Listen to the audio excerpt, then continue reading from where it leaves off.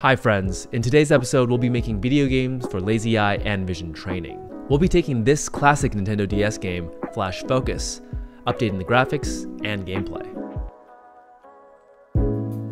Watch until the very end to see the special features we've added for lazy eye and vision therapy. So let's get started. Flash Focus breaks down the game types into the following. Dynamic visual acuity, which is the ability to see moving objects. Momentary vision, the ability to process a lot of information at once. Eye movement, the ability to move your eyes quickly. Peripheral vision, the ability to see around your central vision. And eye-hand coordination, the ability for your eyes and hands to work together. Dynamic visual acuity is the ability to track moving objects.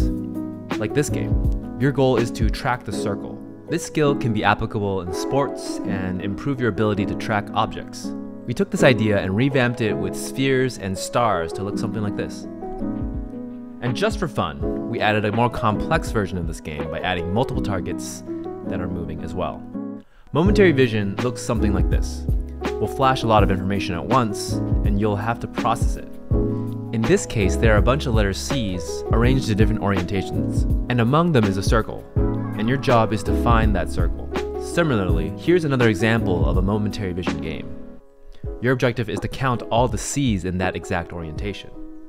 Eye movement which involves moving your eyes quickly. Here's an example. In the game symbol order, you need to move your eyes quickly to see the symbols that are shown. Then repeat the sequence of the symbols. Peripheral vision is your ability to see around your central vision while gazing at the center. In this game, you focus on the symbol in the center, then use your peripheral vision to spot the same symbol on the outside. Eye-hand coordination, the ability for your eyes and hands to work together. Flash Focus had a basic game where you would tap boxes that appear on the screen, like whack-a-mole. We revamped ours to look a little more 3D with flowers that sprout out of the ground. On top of that, we added an additional objective. Tap only the flowers that have the letter C in the correct orientation. These are the five visual abilities covered in Flash Focus, with many more games that we revamped that we didn't even get a chance to cover in this video. Moving on to our bonus feature we added into our games to make them helpful for lazy eye and vision therapy.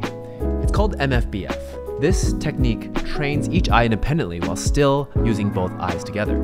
Here's an example. This might look like a regular game, but with red-blue glasses, some targets can only be seen in one eye, and some can only be seen in the other. This technique trains each eye independently while still using both together. You'll have to use both eyes together in order to play the game. MFBF promotes eye teaming and binocular function, which helps with depth perception and can be a game changer for various visual issues. If you want to play our revamped Flash Focus games with MFBF, you can play it for free on our Optics Trainer app, available on iOS and Android. For our clinics, these games and MFBF features are also available on our Optics Trainer eye tracking system. If you like this content, don't forget to like and subscribe. And if you like games and vision therapy, check out our last video here.